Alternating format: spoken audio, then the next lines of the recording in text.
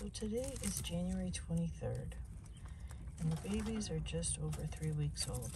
I usually show this area before it's been cleaned, fresh bedding, fresh food have been put down.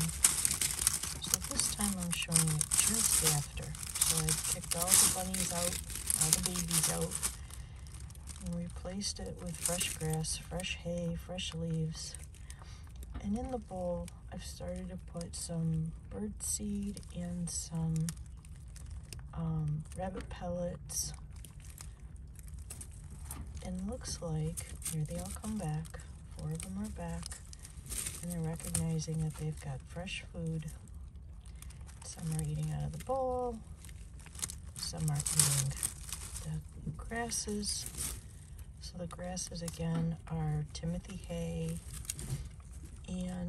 orchard grass and I've given them the leaves. This time, this time they're not as interested in the leaves. They seem to be more interested in uh, other stuff. And I just love that the one rabbit, in order to claim the bowl, is sitting in it in order to make sure she can, she or he can get the most out of it. But they're definitely all eating well now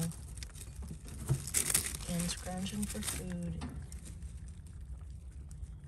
And it's cold.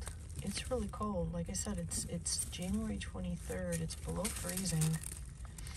And they're running around comfortable. The top of the cage is open and they're not all huddled trying to figure out how to keep warm. They're more interested in trying the fresh food and going back and forth to seeing mom.